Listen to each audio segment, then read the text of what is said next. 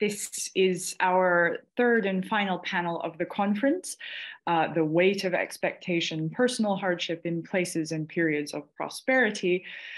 Um, we will begin uh, with a talk from Sam Davis, who is uh, actually the councillor for Queen Edith Ward in Cambridge. And um, I think she's going to give quite an interesting overview of, of some of the work um, that she's been engaged with there.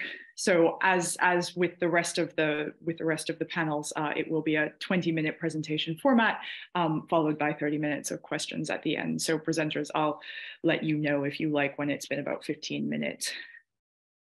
Okay, thank you very much, Neve. Uh, I will now attempt to share my screen. So yes, I, have thoroughly enjoyed the last day and a half's um, content. Uh, I'm not an academic at all. I come to this very much um, from a, a, kind of interested citizen point of view, I guess. Um, I have made some attempts to inform myself, and I, I guess my interest really could be best described as place-based approaches. I feel very rooted in this place. Um, I've lived in Cambridge for 35 years. I've lived in Queen Edith's ward down in the south of the city for 25 years. I um, have chaired the sort of neighbourhood association uh, for the whole area since 2015.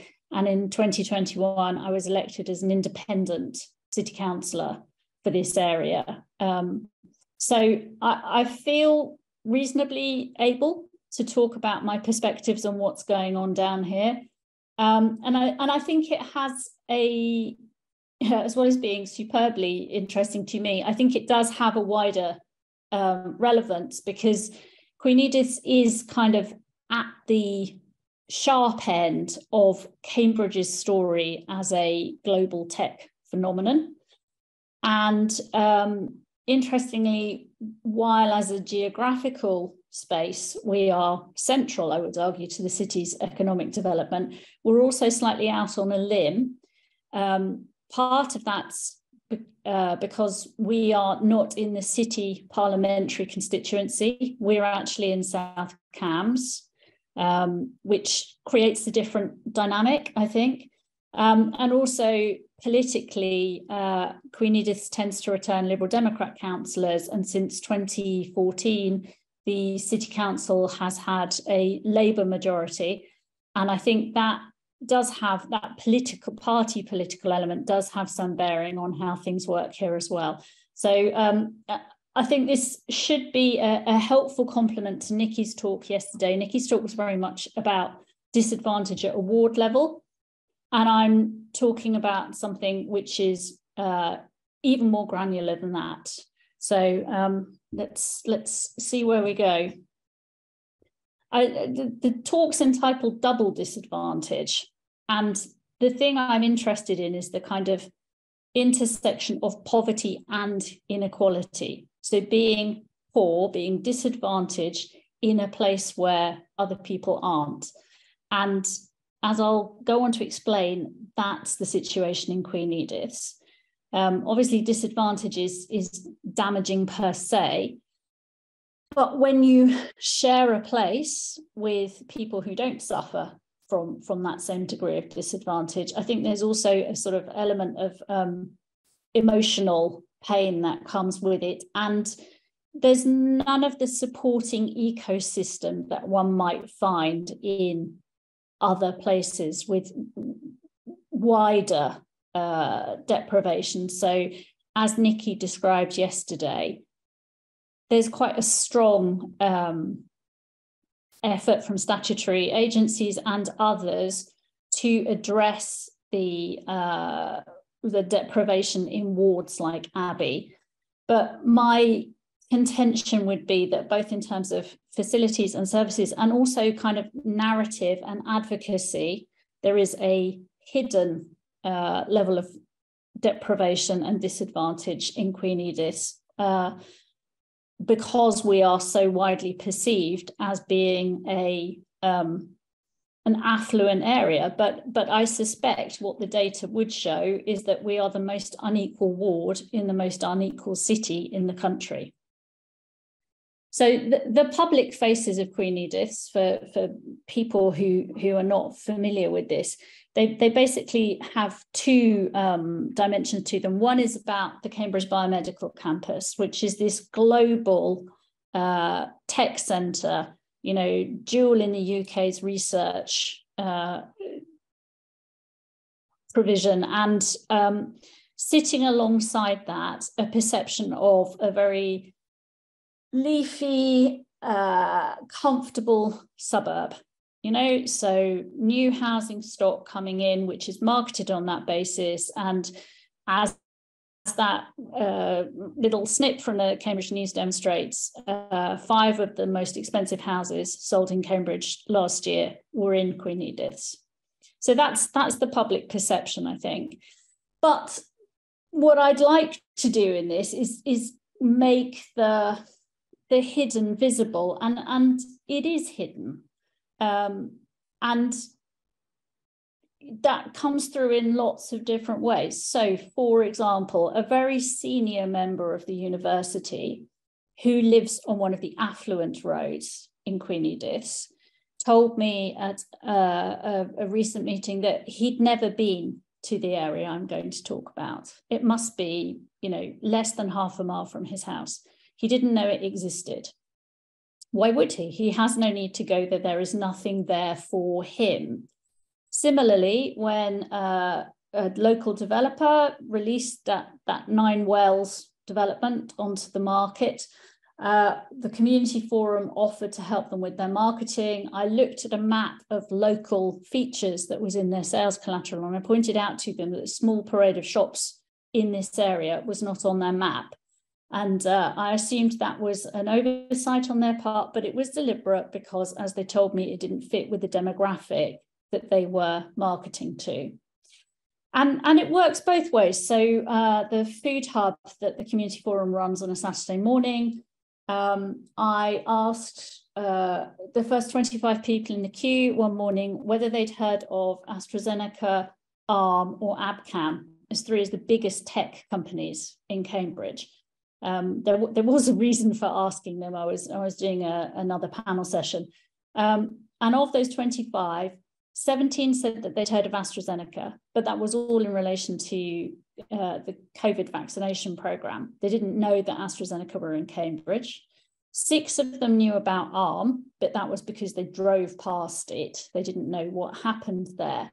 Not one of the 25 had heard of Abcam and someone asked me if it was a taxi company. So there really are these two completely separate worlds occupying a very um, small space. And uh, there's different ways of, of flagging that up, and I'll, I'll just nip through some of them here. So there's a cluster of properties owned by Cambridge City Council in this particular part of the ward um, very disproportionate to anything it owns anything anywhere else. Uh, and that means that there's, you know, it's visibly different. It's an estate that was built in the late 50s and the early 60s. Uh, and even at that point, it was acknowledged to have a, a kind of shortfall in community facilities. And I'll, I'll come back to why that's important later. Um, it's in the middle of a food desert, I guess, uh, because it was the, the ward was originally a dormitory. We don't have supermarkets uh, of the kind which would be attractive to low income households. They're all a minimum of two miles away and they're not very accessible by public transport. Similarly, we have one cafe and one pub in the ward for 12,000 people. So this is not an area which is rich uh, in any kind of social infrastructure. Um, and as we heard in some of the earlier presentations, finding places for people to get together, build trust, build community is very important. And it's extremely difficult to, to help that happen here. In, in relation to the, the council housing, I think also there's a point about how the nature of who is occupying council housing is changing over time because it's a scarce resource. Uh, people getting tenancies now tend to have higher needs than they would have done once upon a time. And the people who have tenancies are tending to age in place, and so their needs increase as they grow older. Um, so when you have a concentration of the kind we have in this location, that that tends to build quite a quite a concentration of needs in, in the one location. Um, if you look at the census data, I, have spent far too much time looking at the, the 2021 census data and the mapping that's available there. Um, what I think it does is again point out how anomalous this area is. I've picked one measure here, which is the, the number of people who have a degree. As you can see, 22% of the population compared to 60% average across the ward as a whole and 56% for the city. Um, and, you know, I could have chosen lots of other measures. They would all have indicated the same way. And they also flag two things about this. What, one is the level of transience here. So 17% of residents lived at a different address one year before the 21 census. So a huge churn in population and also very diverse. So um, 52% of the population born in the UK, 54% say they identify as having a UK only identity, and 37% say they identify purely as having a non UK identity. So I hope that gives you some sense of what a, a kind of melting pot this is. Um, and what's happening, and I, I felt this instinctively, and I'm very glad to see the data uh, supports it, is that this, this gap is opening over time. So if you look at the change in the indices of multiple deprivation, um, area A, the, the area we're talking about, is not as deprived as other places in the city per se. Uh, it was in the 50th centile, it's dropped to the 40th centile, but the point is it's getting worse. Its ranking is, is deteriorating. Whereas for area B, which is the affluent part of the ward, its ranking has improved. It is now even more affluent than it was. And I think you get that sense of the place um, changing and, and these fault lines becoming more entrenched. And and the fact that the rising tide which the the cambridge phenomenon and and the high tech narrative is is supposed to um, indicate it's not floating all boats. And uh, i went to the citizens advice bureau and you know obviously this is again confirming the same pattern there is a particular hotspot of contacts for them in this location so, so that for me is evidence of there being a, a particular concentration of need. Um, obviously the, the counterpart to the data is the human experience. And what i've done is talk to three households who i knew very well because they've attended the food hub over the last couple of years.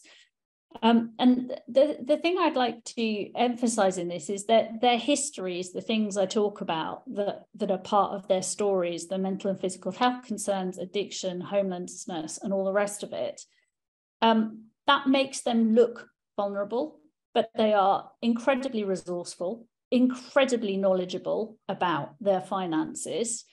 And they wanted to take part in this because they want to be heard and they want to help others by raising this issue. So there's a set of very consistent themes that came out of discussions with them and you know a lot of these are very obvious but it's it's the detail you know someone who couldn't access nhs dentistry who is in so much pain with their teeth they gave up their job because they couldn't cope with the pain and working someone with fibromyalgia who is in a council house would like their front door replacing, council won't do it, the resident doesn't have the money to do it. She is now dealing with more pain and higher heating bills as a result of that. If she had, if she weren't in a place of financial hardship herself, that is an action she would absolutely be undertaking to, to make her situation better, but she can't. Um, one resident who drove in a bus lane picked up a 70 pound fine because she was also struggling with mental health problems, she left it. It turned into a 750 pound uh, fee being pursued by a debt management company. The same amount of money went back to the county council. There was no gain for the county council in pursuing this debt. The debt all went to the private debt collect the, the proceeds all went to the private debt collector for her to find 750 pounds um, is is unimaginably difficult. And it's it's the kind of situation where you see this multiplier playing out. Um, and it's it's almost painful to to see needs that people in the immediate population around this this neighborhood would be very able to to to address privately time and again being things that that lead to this group feeling judged and feeling impotent and feeling it's impossible to build for and invest in their future. Um, there's a, a, long quote here uh, I hope this when when this uh, material goes up online, people will be able to take the time to read it. Because this is the statement of someone who needed a 200 pound repair to a pipe in their house. And the housing association has been obstructive for two years over that. They have lost everything and when I say they've lost everything, they've not just lost money, but they've lost a huge amount of sentimental um, material as well. And to to feel like your home is a prison for the want of two hundred pounds is a really terrible thing. Similarly, I talk to service providers in the area. The, the state doesn't have much of a presence in Queen Edith. What we have is a primary school and um, a medical practice. The practitioners there talk very much about um, being required to take on externalities, interestingly, not just from other resource constraints public services, but also from the thriving Cambridge economy. So, two examples of that are the huge number of children who move to the area without English, and schools are then required to pay for English tuition for these children. It's not funded by the county council anymore, it comes out of the school's own budget. And similarly, the medical practice talking about the, the level of isolation that, that people bring to them because of the transience in the area. There's a big reliance on community groups to try and fill in, but those groups are fragile themselves and are now being asked to provide essentials where once they would have provided nice to haves. Uh, both uh, school and GP practice talked about the spatial barriers of accessing, uh, you know, infra- various types of infrastructure that would make people's lives better. If you can't afford the bus fare to town, your children are going to miss out on a whole raft of um, possible experiences. Uh, they talk about the bureaucratic load and they talk about their own burnout. And I think that's a cost which doesn't get enough recognition that, that the people doing the rationing can find this as hard as the people being rationed. So the policy response to this uh, is difficult because, as we've heard at length today, uh, austerity means that city councils, local authorities have less money to play with. And you can see the statement about the strains on the city council's budget on the right hand side there. Um, what the City Council has done over the last 10 years is uh, develop an anti poverty strategy, which is ward based. And this is really the point of what I'm wanting to raise today that a ward based strategy is at best partially successful and actually can work to the detriment of people at disadvantage in wards which are not identified as a whole as being needy places. So not only does the council concentrate its own resources in these uh, in these wards. Um, it also encourages uh, implicitly other organizations to take the same response. So you try to talk to cultural organizations to bring activities down to the south and they say, we only work in the north of the city. There is a problem with building voluntary capacity down here, which means that groups don't even take advantage of the grant funding that the council can make available down here. So there's there's there is a, a sort of ostensible rationality to what's going on, but in terms of how it plays out on the ground, it means that people in need are missing out.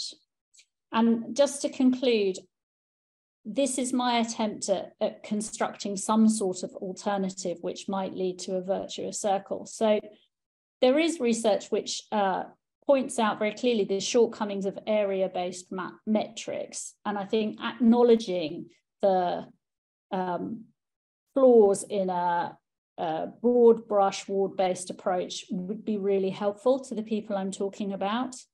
That would enable us to move behind this kind of spatial poverty shorthand, um, which is it leads people to say, oh, we do work in Abbey, we do work in Arbury, and uh, think that does the job. Um, I think if we did that, and we also promoted a more even distribution of services and facilities across the city, then we would be able to incorporate the lived experience of, of the people who, who are missing out at the moment. And that would enrich our evidence base about why they are um, suffering this double disadvantage. And I would hope that that would, over time, produce more equitable and more um, efficacious investment approaches for, for the city. So thank you. I'm afraid I've overrun a little, but I, I hope there was some merit to what I just said.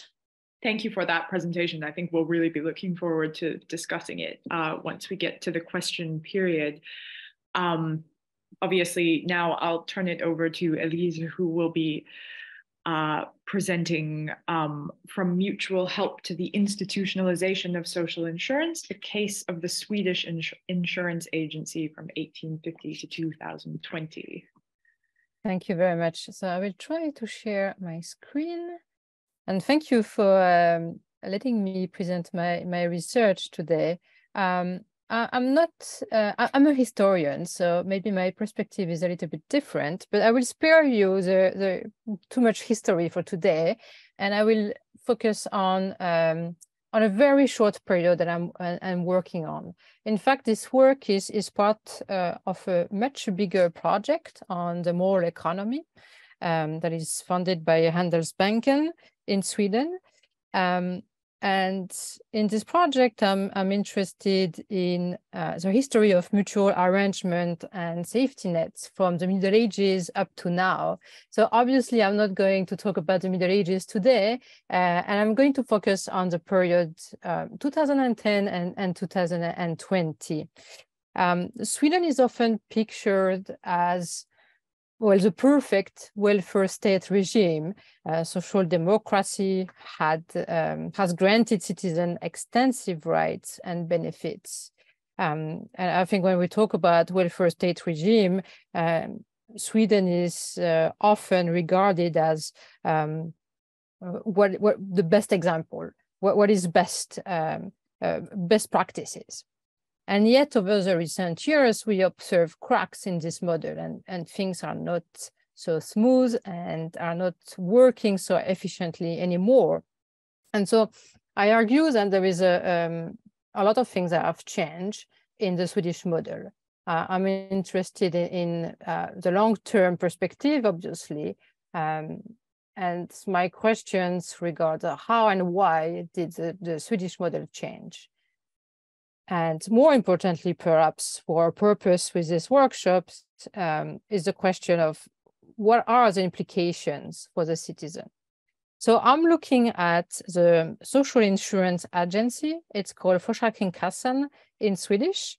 Um, so basically, it takes care of a lot of things, but mostly um, the sick leave benefits.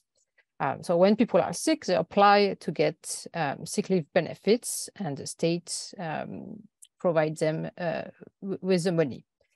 Uh, but recently, the Swedish state um, aimed to reduce the number of benefits distributed in politics of cost reduction and state disengagement.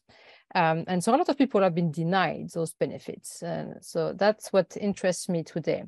Um, I'm looking at uh, various sources in a mixed method approach. So I'm looking at the Försäkringskassan official statistics.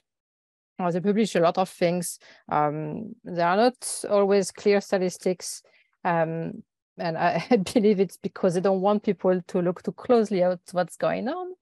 Uh, I'm also looking at something called Et undra sexton om dagen, uh, it's a website that collects, uh, it's a database that collects short stories of people who've been denied benefits. Uh, right now, that website has 600 short stories, um, but every day there, there are more coming. I'm also looking at Facebook uh, groups. Um, they are very useful. So the Försäkringskassan Uppropret, um, that one has been created in uh, 2019. Um, I joined the group uh, in 2019 where there were 5,000 members. Uh, today that group has 70,000 members, which is huge. You have to remember that Sweden is a very small country of 10 million inhabitants. So that, that gives you some, some, some proportion. On that website, you have about 1,342 personal stories, and you have a lot of uh, other stuff as well. I've conducted pilot uh, interviews, uh, which have been um, uh, very fruitful and rich. Um, I'm waiting for the next interviews because I need ethical clearance from the state, uh, and that is taking a little while. So I would like to, to start with an example. Uh, I would like to, to, to tell you the story of a young and dynamic editor who lives in Stockholm in 2017. Uh, I'm going to call her Victoria. That's not a real a real name, um, but um, let's say her name is Victoria. So in 2017, Victoria experienced burnout symptoms. Uh, she went to the doctor. Um, she was worried about what was going on. Uh, she felt very tired. She had migraine all the time the doctor ordered blood test and the blood test did not reveal anything. This is very important for our story. So remember that. So Victoria went on and continued working and she had after all a lot of very important deadlines. She loved her job. So she felt that she could perhaps take a few vacation, a few days off and, and see how things uh, would improve. Two years later, in 2019, she consulted the doctor again. Um, her symptoms had only gotten worse. She could not perform her work any longer. She had to wear sunglasses in front of her computer. She could not stand noise anymore. Her heart was beating irregularly and she couldn't train at the gym or she could not socialize with her friends anymore. Um, she was exhausted all the time on the verge of total collapse. She did not have energy to cook. She didn't have energy to shop groceries or even to take a shower. So she went to bed after work uh, right away at 6.30 every day, completely exhausted. The doctor ordered blood test again. The blood test did not show anything. But because she was exhausted and because she told her story to the doctor, he decided to put her on 100% sick leave. So she was on, on sick leave for uh, a little while. She tried to recover. She joined a, a program, a rehab program for stressed uh, people with um, burnout syndromes. So everything was going well. But after um, six months, which is 180 days, Försäkringskassan, the social agency, contacted her, uh, sent her a letter and said, well, uh, after uh, your sick leave for 180 days, the rules are such that you are only entitled to sickness benefit if you are unable to do any work that is normally done in the labor market. Uh, it's a little bit of, a, it's my translation that might be a little bit complicated to understand, but it's very complicated in Swedish. Um, it means that after six months, if she could not work at a regular job, well, she, uh, Försäkringskassan had to make an assessment if she could work at all. And they decided that yes, despite the burnout, she could work and do something else, uh, something that was less demanding, um, something that did not place high demands on her ability, for instance, or where she could take regular breaks. Um, and so she was denied benefits. In order to keep her uh, sickness benefits, she had to register at the unemployment agency, meaning that she had to find something else. Uh, because Försäkringskassan considered that she could work 100% elsewhere. Uh, she had actually started rehab, so she was already working 25%. The stress rehab was made, um, it was um, um, something that she decided with her employer. So the employer went to the meeting with the doctor, they designed a plan and a strategy for her to start working again.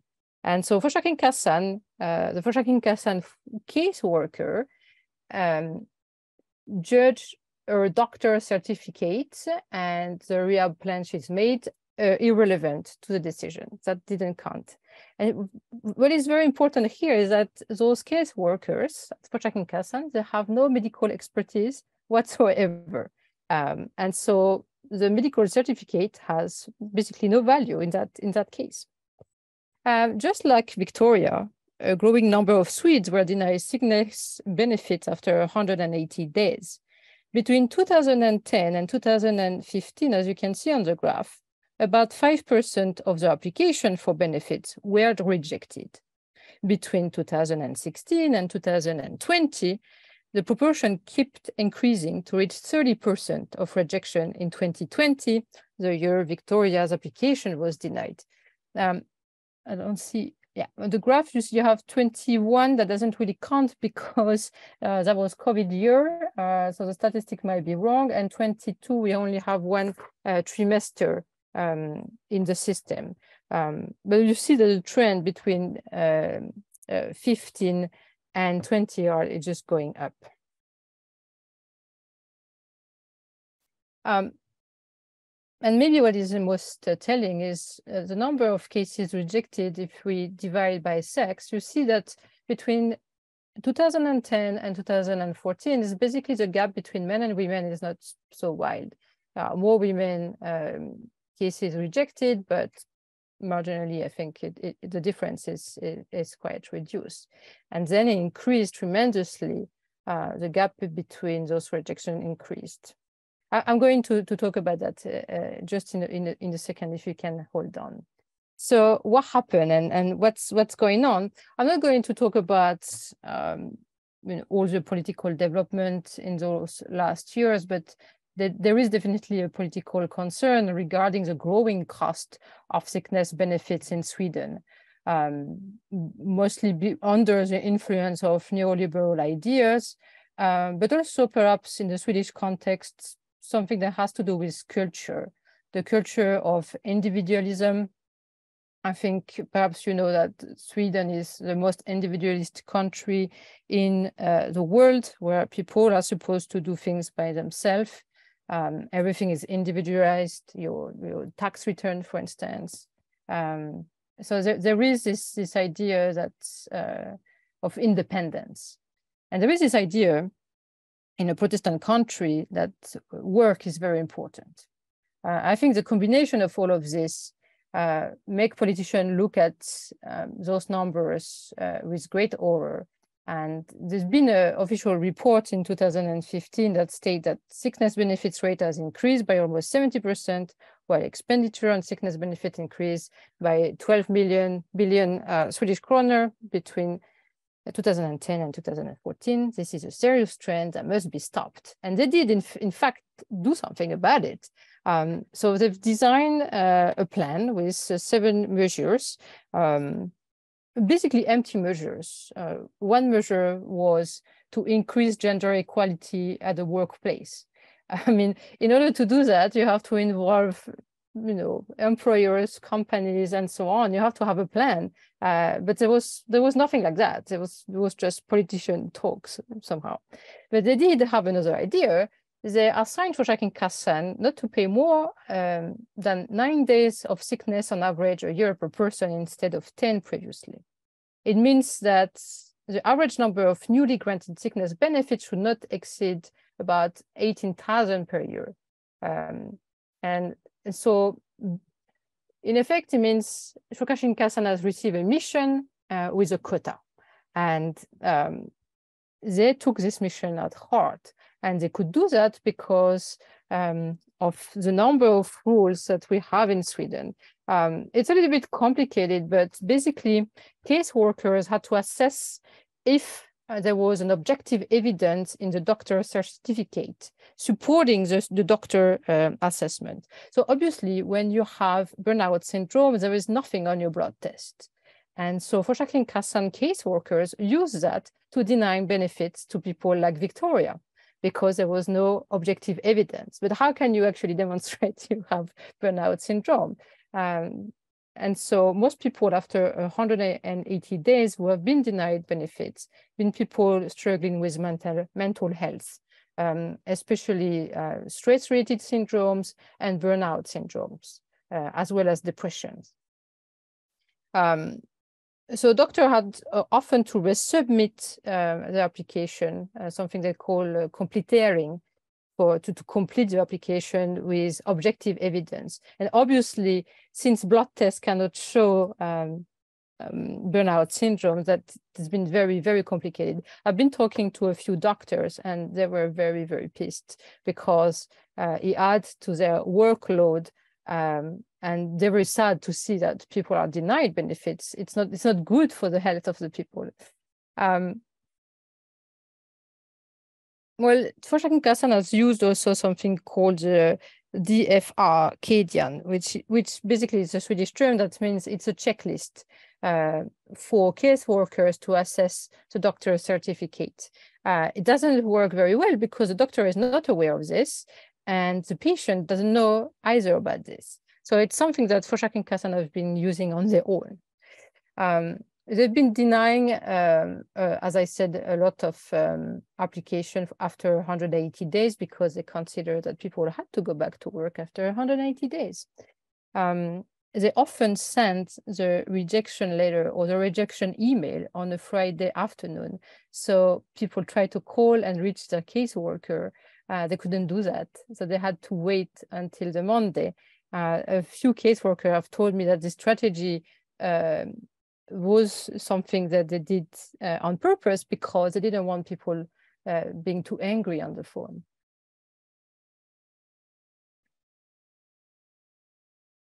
So obviously, when we've been talking about personal hardship, um, this politics of um, um, cutting cost had a lot of uh, um, effect on, on, people. One effect, obviously, is a money problem. And here you have a quote from Jessica.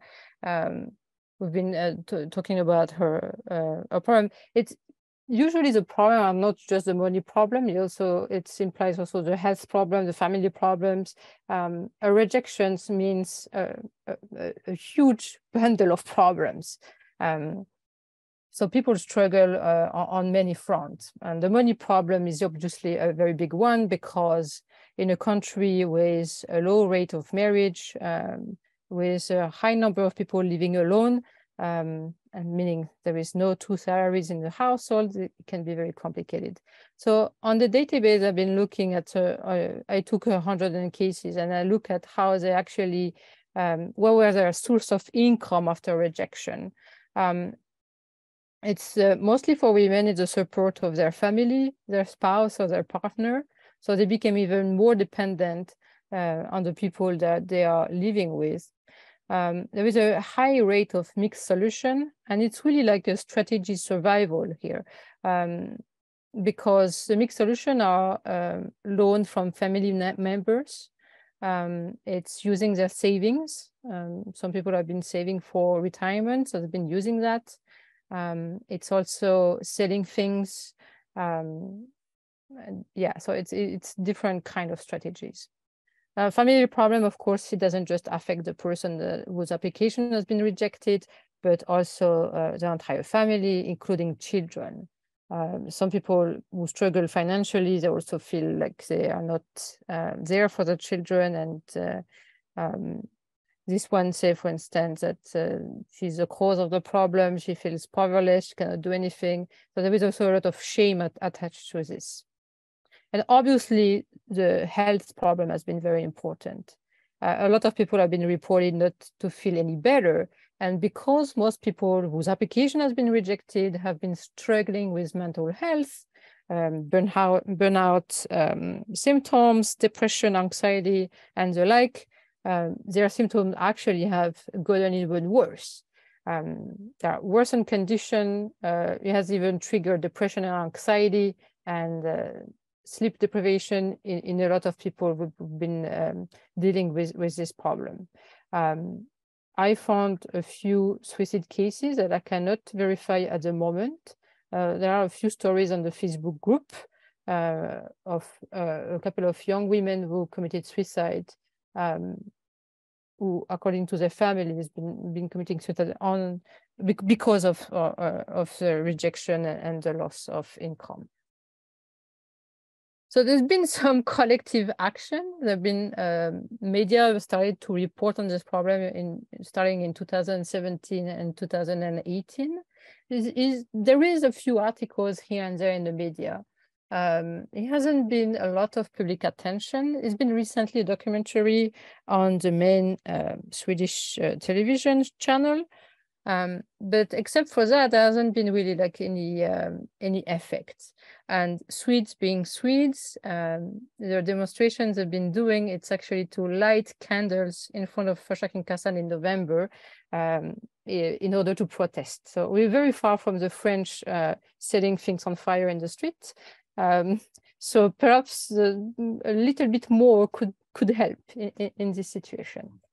Um, so just like to to conclude, I don't know how much time I have, probably not. Um, I, I just um, my aim here is to to talk about um, to develop some theory around institutional betrayal, about this broken contract between the citizen and the state, because um, the contract was not searched and it's been broken by one party who changed the terms of the contract. Uh, and I think this is very, um, very important. Um, one thing to focus in particular is perhaps to ask the question if female workers are being uh, being betrayed in this, uh, because they are the one um, being affected the most by by this situation. Um, well, it's no secret that Sweden has the highest level of social protection expenditure in relation to GDP uh, in the beginning of the 1990s. Um, I don't know how it is in the UK when you report on Sweden, but the French are um, uh, so in love with Sweden, and there's been like a lot of articles lately, or even um, shows and documentaries uh, since uh, Emmanuel Macron has been elected. Actually, uh, they, they, they, they, would like to to try the Swedish model, but the Swedish model doesn't doesn't work so well. So, uh, thank you for your attention.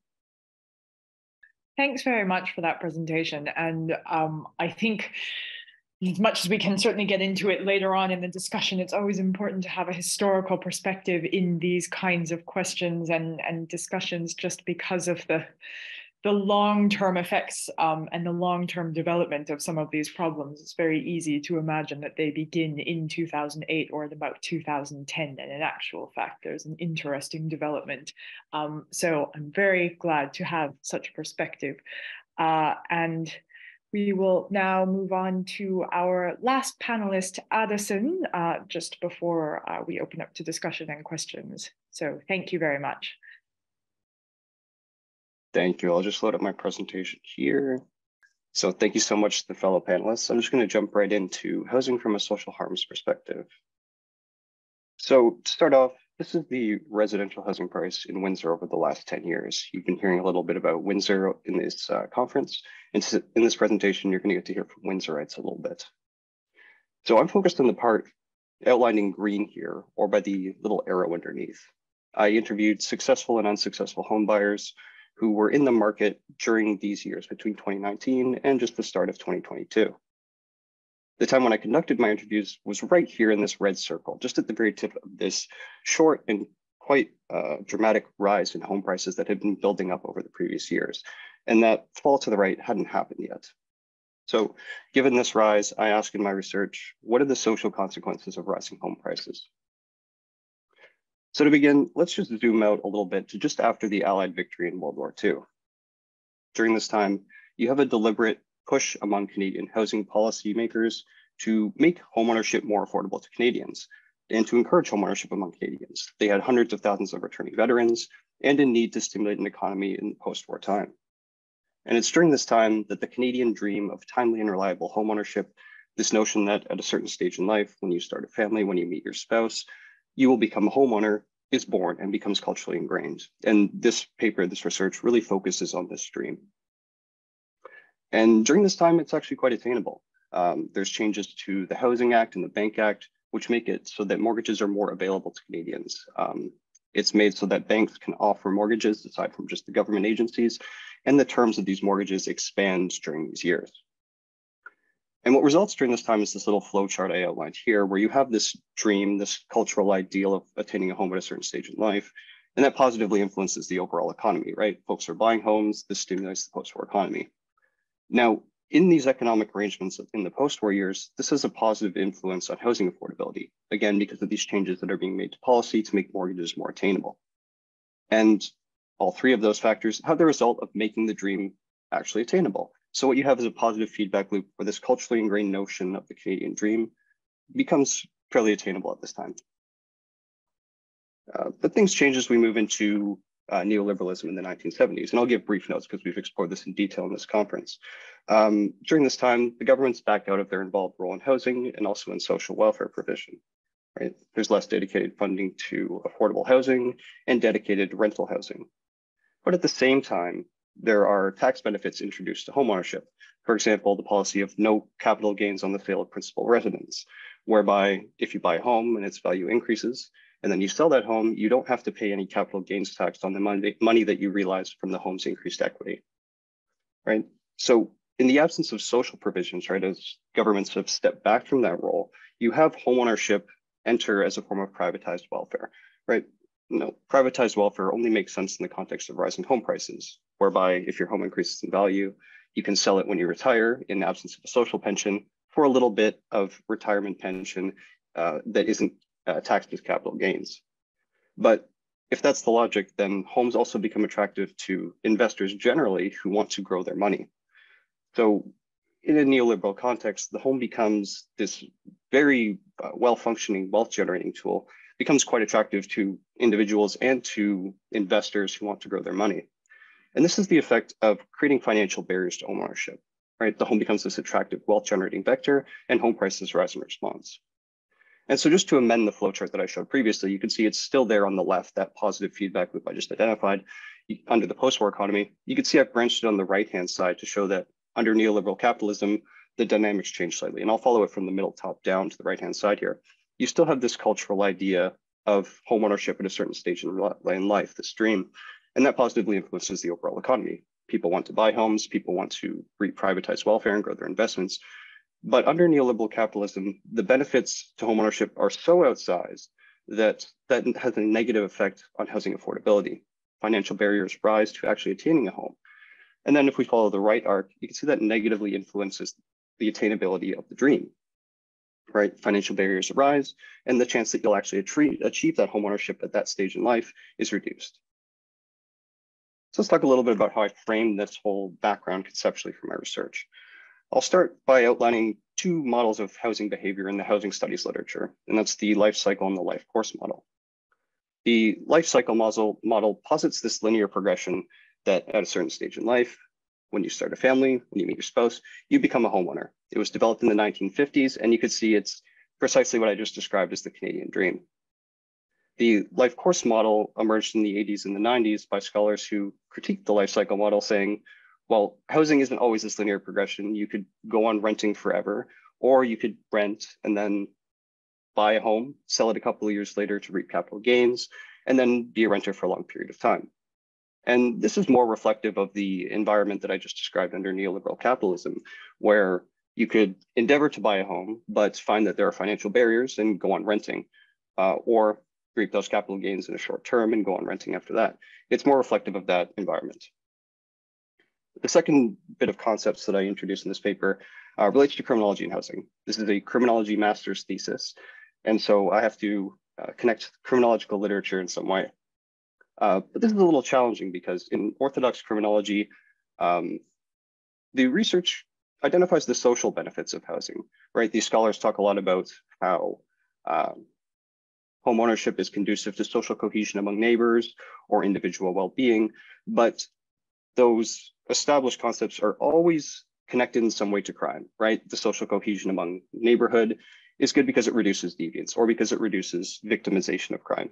So this is useful for establishing the social benefits of housing uh, because they have to draw on that, but it's not so helpful for me because nothing that I'm studying here is illegal. Uh, so that's when the social harms perspective comes in handy, this perspective in criminology, which studies phenomena that are not illegal, but are nonetheless injurious to individuals in the social body. And social harm is divided into four main categories. You have physical harm, psychological harm, um, financial harm, which are all fairly self-explanatory. Then you have threats to cultural safety, where cultural safety is defined as uh, notions of autonomy, development, and growth. So where any of these are threatened, we have threats to cultural safety as a category of social harm. Now, I argue in this paper that rising home prices fit this bill of threats to cultural safety. In the realm of housing and harms, scholars in the past have really focused on the physical dimension, right? They'll study people's experiences in homes that fit the legal standard for uh, habitable housing, but are nonetheless plagued by things like mold or the presence of asbestos or just being too cramped overall. Um, but recently, scholars have looked more broadly at the political economy surrounding housing, right? The ideological dimensions that I sort of intimated when talking about the dream and how those are conducive to social harm. And I focus in my piece on uh, a work in 2021 by Mark Schelhaes from King's College London, where he argues that the ideological privileging of homeownership in the UK, whereby homeownership is presented as the form of housing tenure and the benefits conferred to that in policy reflect that, is conducive to all four of the type of harms that I have outlined here, right? So his discussion of cultural harms or threats to cultural safety rather is what I'm interested in here. His argument is premised on a mismatch between the life cycle model and the life course model. Um, folks in the UK, he argues, uh, have this happy home ownership narrative where they assume that if they attain a home, they have secured their private pension and that will carry them into a nice retirement, the life cycle model. But what they find, and this is where he identifies threats to cultural safety, is that homeownership is so desirable that they will often not be able to attain that and so lose out on this promise, this happy homeownership narrative, and still experience harm in this category. In other words, the rising prices threaten their autonomy in their ability to choose where they want to live and their financial growth because they aren't able to achieve that privatized pension. Now, Schelhaes in his work is fairly brief on threats to cultural safety. Uh, what he intimates but doesn't actually name is the presence of relative deprivation. Now, relative deprivation is defined as the excess of expectations over the opportunity or ability to achieve it, right? Unsuccessful homebuyers are by no means completely deprived of autonomy or of the ability to develop or to grow financially, but relative to homeowners, they are in the context when homes uh, occupy such a key role. They are relatively deprived compared to homeowners rather than absolutely deprived. Right. So in this piece here, I build on Schelhaes's work. He speaks about the applicability of this category quite generally. I endeavor to back that up with interview data and also to add a little bit of meat to his discussion by focusing on relative deprivation and specifics. So to sum up the conceptual framework, we had that two-armed diagram that I showed you before. The only change that's been made here is on the right-hand side, whereby, if you'll recall, financial barriers arise to homeownership, negative effect on housing affordability. I argue that that negative relationship leads to feelings of relative deprivation, and that those feelings of relative deprivation constitute social harm on the grounds of threats to cultural safety. So let's move into the methods of this study. Based on all that I've just spoke of, I hypothesize that the social consequences of rising prices are harmful and that that harm is mediated by feelings of relative deprivation. I interviewed 16 individuals for this project. uh, eight unsuccessful home buyers and eight successful home buyers. Don't worry so much about the bottom column now. I'll return to that in a moment. I coded these interviews for themes and condensed them down to three main themes, which I'll go over right now. The first is an environment of asset speculation, the first theme. And here participants discuss that large rise in a short period of time that you saw on the graph at the beginning. And they talk about how this rise was driven mostly by investors and less so by an actual increase in the value of those homes, the underlying value of those homes. And here I'll let the participants speak for themselves. There's no money coming into the market that justifies the increase in prices. People are buying on their buying power with low interest rates, and they're buying on the speculation that 10 years from now, this house will be worth this much. And you can do that with real estate to a certain degree because you tend not to move. So this category of analysis, it's useful for reflecting everything that I just laid out in the introduction, but it's not conducive to harm in any real way. So we'll move on to the next theme that I analyzed, which is barriers to inclusion. So the unsuccessful home buyers that I spoke with uniformly reported financial barriers to inclusion in homeownership. Of course, they wanted to buy a home, tried, but didn't have enough money to do so. Here, I'll let the participants talk a little bit about that. For example, we'd go see a house that was listed at $199,000 and would be like, oh yeah, do you think this is a competitive offer? And the real estate agent would say, well, if you're not going to put a three in front of that, then you're not going to get it. So we were just like, okay, well, it's just absurd. It's basically a bidding war. So that's kind of why we decided just to stick with renting this year. So, what participants like Jeremy and others would go on to describe is concerns over their own financial growth potential from not buying a home, and also their children's financial growth potential. Um, and what we see here is the presence of relative deprivation of financial growth. Um, now, this could indicate financial harm but I just I don't have enough data in my research to assert that. I didn't ask for their financial details or track it over time. So let's move on to the final theme. And that's homeownership and lifestyle. So here participants articulated the Canadian dream, right? That linear progression that I mentioned, where at a certain point in life, you'll attain a home when you start a family, when you meet your spouse. But they articulated this dream as a guiding framework for their own life progression, right? So it wasn't just that financial barriers prevented these uh, participants from attaining that uh, financial growth that the previous theme had mentioned, it also blocked what they believed to be a standard life trajectory and a trajectory that they had set for their own lives. And I'll let the participants speak on this again. I just bought my first home last year, and it's just kind of a starter house essentially. So I guess I felt embarrassment in that sense too. The fact that anytime anyone asked me in the past year, Oh, you gonna buy a house? Or I saw friends buying homes and I'm still waiting. It was just embarrassing. So Mindy managed to buy a home, but what she speaks on here are feelings that my other unsuccessful buyers would also co-sign on and would go on feeling not having attained that home in the end like she did. What the participants reflect here is, as I mentioned earlier, this lack of autonomy to choose their form of housing tenure. They all wanted to buy a home, but were blocked in their ability to do so by these financial barriers to attaining it.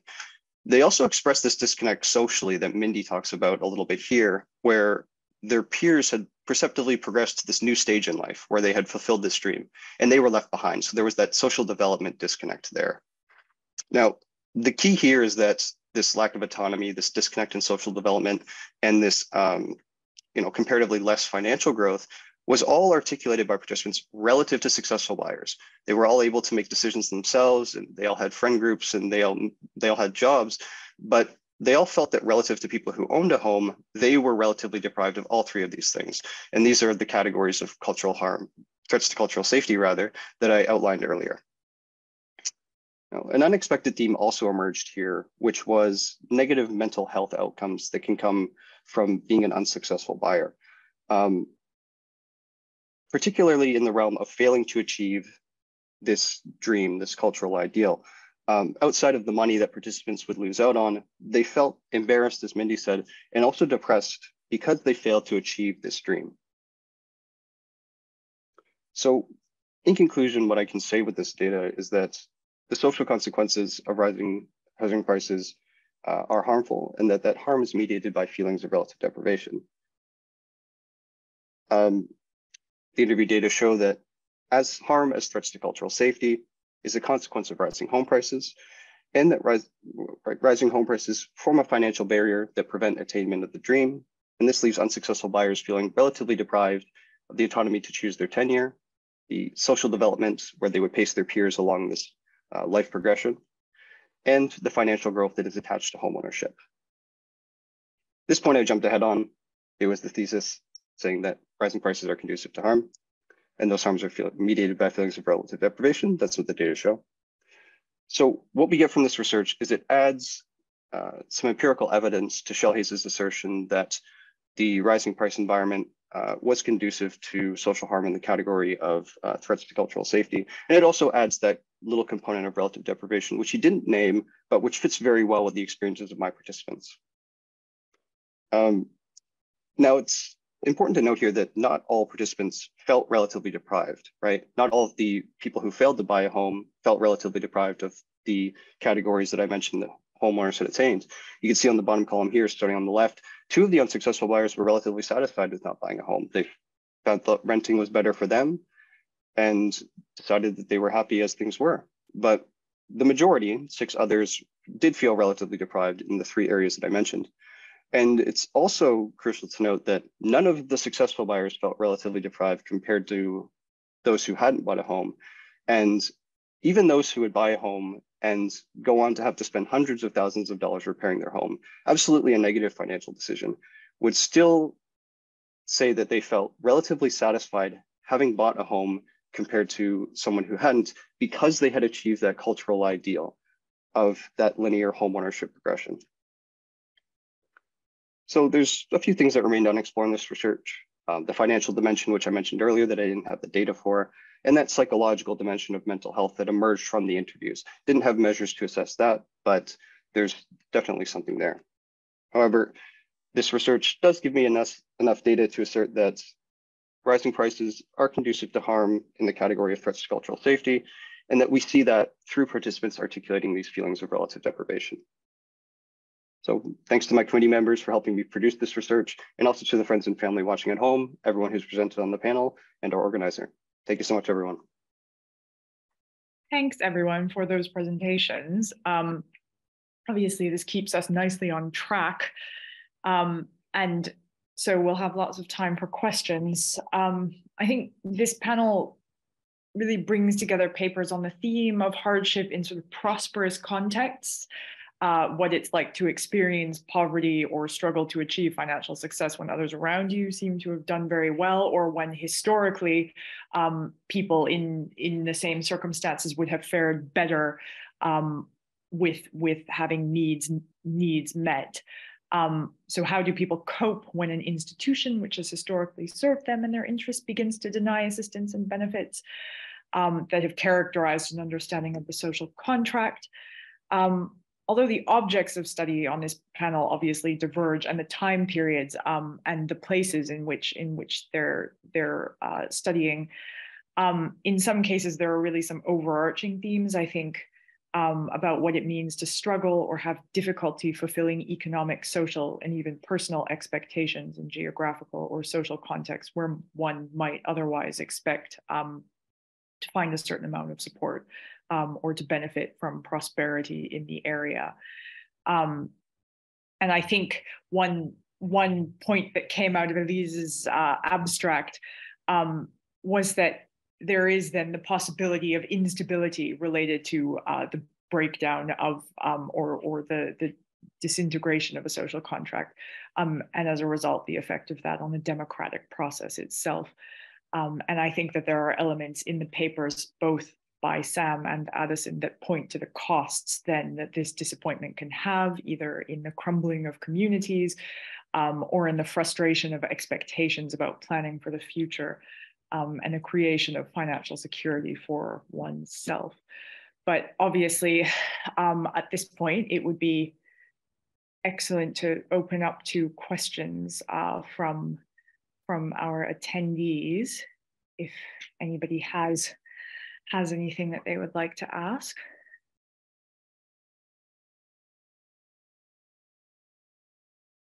Um, so we have, admittedly, I didn't see who went first, Daniel or Mia. I think um, Daniel's first. Okay, yes, we'll turn it over to you, Daniel. By split second. um, Yeah, thank you very much for the for the presentations. Um, uh, I had a question for uh, Sam, if that's okay. So, um, in your uh, presentation, you talked about how, in in sort of the the kind of blind spots that can um, can emerge when there's sort of finite resources and increasingly kind of acute forms of need and forms of need that aren't always seen um, or visible um, either in the data or in kind of uh, teams that are designing policy or prioritizing where resources should go. I wondered if you could just say a little bit more about the the kind of inequalities that this can create at a, a, a hyper local level. So um, I'm thinking about how sort of local charities and, and voluntary groups have to adopt and internalize some of the kind of logics um, of, say, welfare reform or, or austerity, um, uh, and how that kind of relates to the burnout potentially of both staff and volunteers.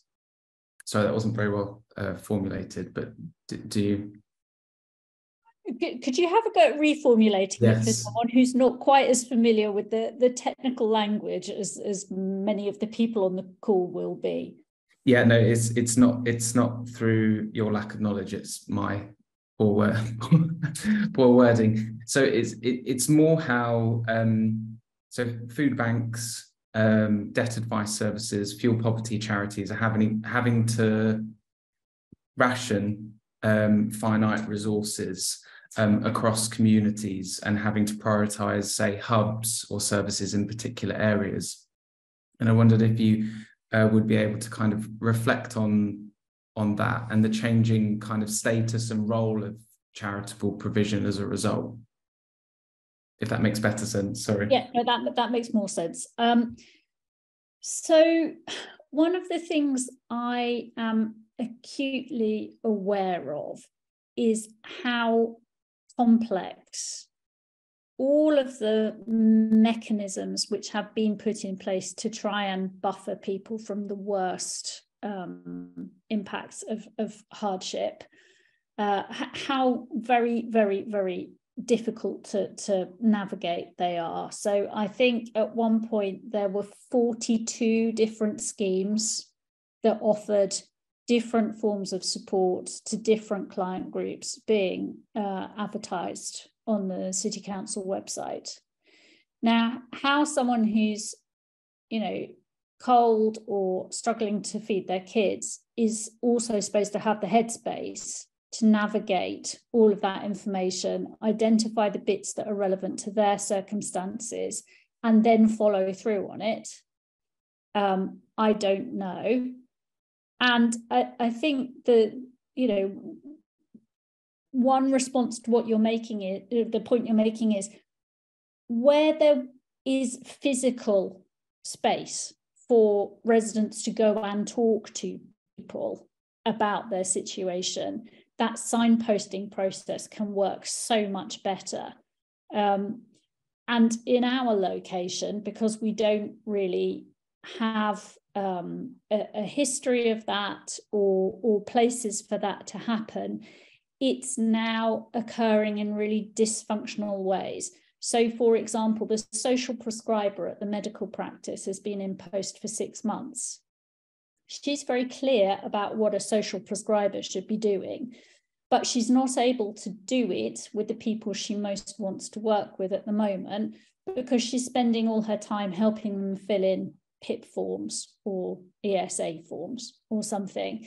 Um, similarly, in the school, uh, you know, they've had to turn themselves into a, a kind of one-stop shop for advice simply because there's nobody else in the area doing it. So, so I think, you know, when I talked about a kind of ecosystem to help disadvantaged places cope with their disadvantage. I look quite enviously at places like Abbey Ward because they do have some level of service and expertise embedded that people can turn to. And it's not a case of individuals being um, left to sort stuff out for themselves as best they can. Um, so that's one aspect of it. And the other is um, so Mia will know this because she's one of our volunteers. Um, we set up a this food hub at the beginning of the pandemic, and um, because of the the spatial characteristics of the neighborhood, we haven't been able to go down the route which a lot of the other food hubs have, which is taking surplus from nearby supermarkets, because we don't have any nearby supermarkets. So we have had to basically rely on financial donations it's it's a um, it's a very direct pitch. We say you are affluent people sharing a ward with people who are in hardship. Give us your money in a in a very Geldof esque kind of way, and miraculously that has worked to date incredibly effectively. Um, and so you know we've we've had to shamelessly in effect milk the inequality in the ward to, to, for, for redistributive purposes. But I think I used the word fragility in, in my presentation. It does all feel incredibly fragile, you know? Uh, it's it's dependent on goodwill at this point and and people who come to the food hub say to me you know with considerable anxiety in their voice are you going to stay open and the answer i give them is yes, absolutely, for as long as we can. But it doesn't come with any guarantees. And if we lost volunteer capacity or financial commitments from residents, then it wouldn't exist anymore. So, so that sense of improvisation and bootstrapping is, is absolutely the characteristic of what's going on in our location at the moment. Thanks very much. Mia, the floor is yours. Great, thanks. Um, uh, an observation for Sam and a question for Addison. Um, you know, what you just said there, Sam, so reminds me of some of the um, research we did on Great Yarmouth as well, and these kind of peripheral um, uh, seaside communities that are that are quite poor. And one of our respondents said at one point, well, you know, there's all sorts of issues with the um, local economy and everything, but we've got the infrastructure for the poor.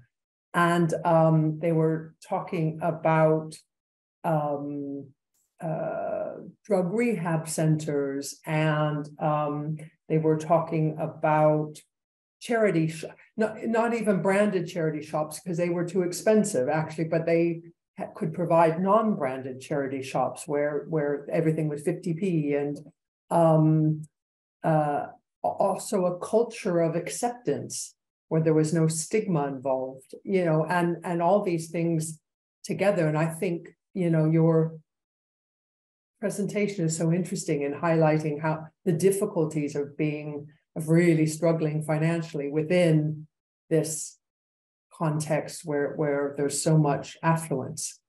Really interesting. Thank you for that.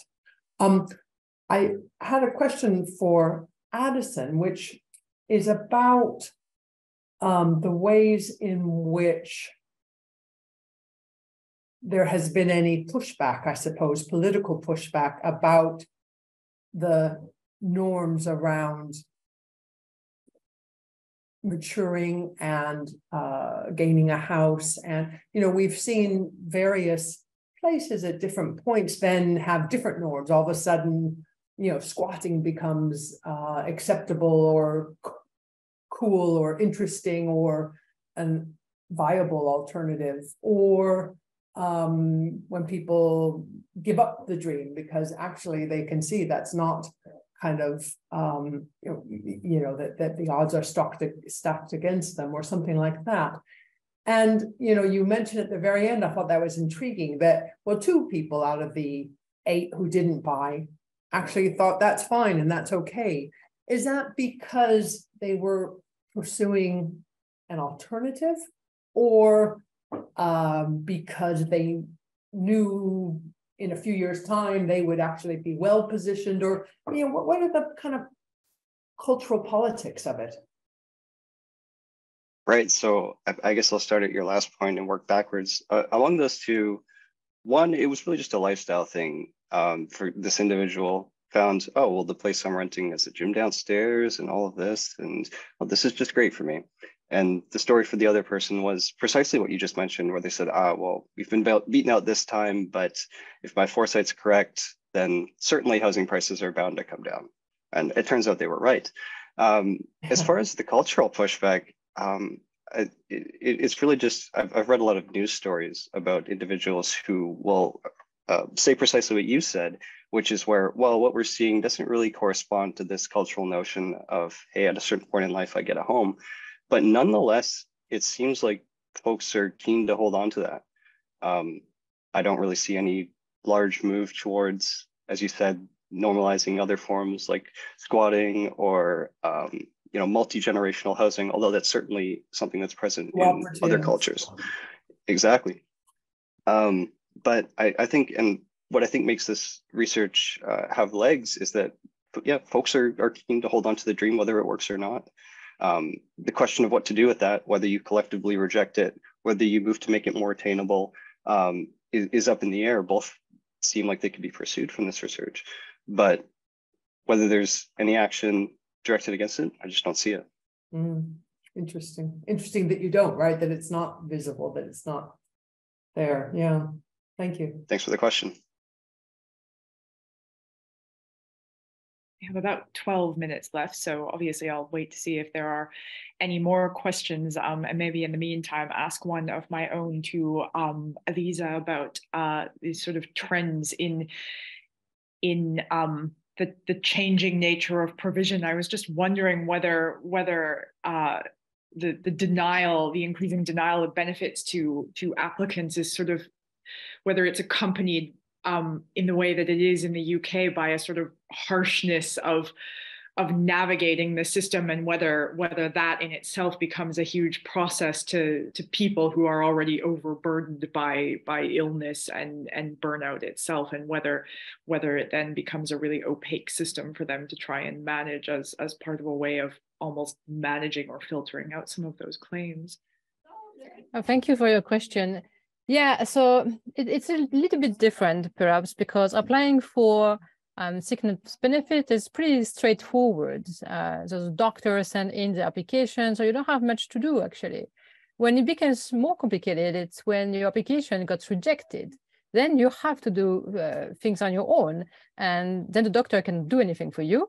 Um, you can appeal the decision if you want, um, I have to say that uh, the number of appeal have increased over the years, but the, the result remained the same because the court of justice uh, gave reason to Försäkringskassan. Um, but appealing is um, a lot of respondents have uh, emphasized that it's it's very tiring. Um, it's a lot of um, um, hurdles on the way. You have to hire a lawyer. Um, so for people in a situation of, of burnout, uh, anxiety and depression, it's almost uh, impossible and they give up. Uh, they don't appeal the decision and then they just try to survive somehow and try to find um, money um, and make ends meet.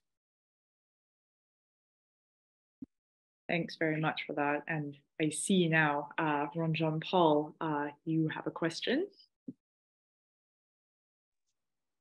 Uh, comment while I manage the cat and trying to get out the door uh, shortly. Um, just in terms of, I mean, open question, I guess, maybe for everybody here, because I've been meditating on this. What's the public cost of personal hardship for a couple of weeks now, thinking about uh, thinking about the conference.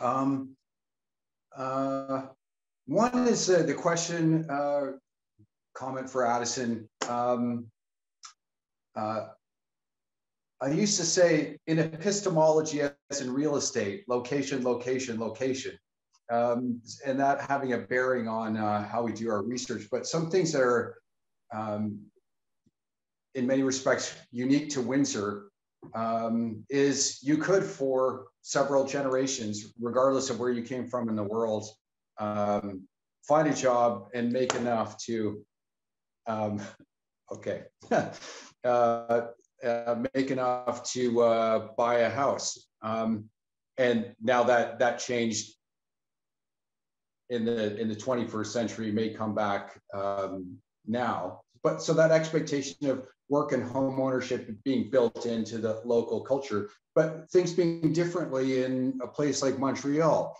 So it's I, I see this less a question of home ownership than a question of what do people see as being suitable housing. Um, some other things that really distort um, a national perception of real estate and expectations about home ownership in Canada is the extent to which commodities markets, especially oil in particular, cause these boom bust cycles in some pretty big Canadian cities, cities, Edmonton, Calgary, um, Saskatoon, Regina, so on the on the prairies, uh, which have put the lie to the notion that well, real estate always goes up. So if you are going to jump in early and feel like uh, you're going to be house poor because you spent so much to get into uh, the home ownership market. Um, you think, okay, I'll be okay because house prices only go up. Um, boom bust in those in those markets uh, really distort that picture. So the numbers of people that I know um, who've had to move for various reasons, finding themselves underwater, um, which is to say, owing more on their mortgage than they were able to sell their house for, is is quite um, significant. There'd be multiple cycles of that.